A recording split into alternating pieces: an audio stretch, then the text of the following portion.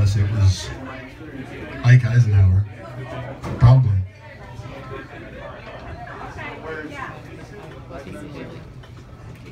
Working with people.